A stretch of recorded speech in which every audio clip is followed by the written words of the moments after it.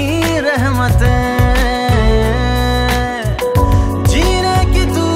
है वजह मर जाना मैनू मर जाना